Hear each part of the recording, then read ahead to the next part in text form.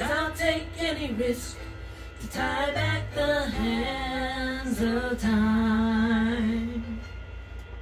Stay with you here tonight.